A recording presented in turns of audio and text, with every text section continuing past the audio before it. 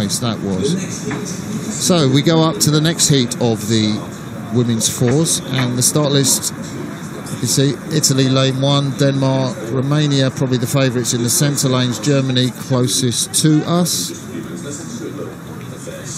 and there's Romania the white boat in the centre of the two yellow boats, Germany and Denmark, Italy at the top of your picture. Romania getting off to a really good start. And now we're back live. Yeah, here we are, uh, 1100 metres gone. That Romanian crew looking really strong out there in first place. Back from them, it's Germany in second place. Yeah, and this Romanian crew, I saw them race at the under 23s in Poznan. Three of the crew that took the silver medal in that event. And uh, Hughes and Buhus, Casu and Panascu in the Romanian boat. Finished seventh in the Linz round of the World Cup. There's the Italians. They really do look to be struggling, the Italians, don't they? Yeah, just a little bit off the pace there, Italy up there in lane one. Romanians setting an absolute blistering pace here. Germany managing to stay with them. Denmark perhaps still to challenge. Just two of these boats going to go through to the A finals. Romania through the thousand in 3:21, just a second slower than the Russians. There is the Italian stroke one closest to you, Giorgia Palacci, 26 of age from the Lario club.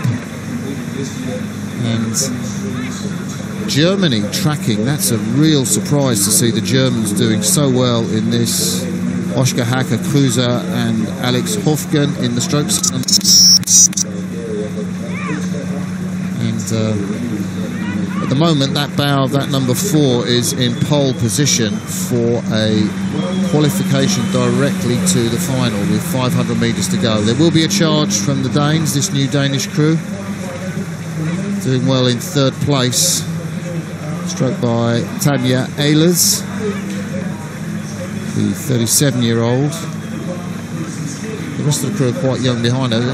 Now, 37 years of age and experience in a race like this, and you can see the Italians, after all that suffering, they are desperately, well, they're hanging on to the Danes. The Italians at the top of your picture in the white boat, and they are tracking the Danes. And that fight, Cat, is taking them back to the Germans, who are in that second place with just, what, 350 metres to go. Yeah, they're just creeping back up on the Germans there. Italy, I think, just moved through Denmark with that high rating up there in lane one.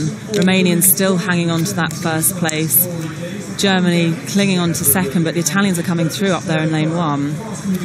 So there you see at the top of your picture the race for the second place with 250 metres left to go. We're into red buoys now. Germany, stroked by the experience of Alex Hofgen from the Neusser Ruderverein in the stroke seat, backed up by Ida Cruiser from Ruderverein Munster behind her and coming under extreme pressure from the Italians. They are not so far behind now as they come up to the line. Great sprint from the Italian stroke woman, Giorgia Palacci. And the Germans are responding now. Germany now the fastest crew on the course, 17.8 kilometres an hour here. We're seeing on that graphic, but Romania clinging on. Germany moving through them now. It's going to be Romania and Germany, by the looks of it, taking these two spots. So coming into the final stages here, it's going to be Romania crossing the line in first place, and the Germans take second, with Italy in third and Denmark in fourth. So that was a fantastically judged race from Romania, led from the get go, and uh, a little celebration from Roxana Pascaru, 21 year old in the stroke seat, European champion in this event from 2017.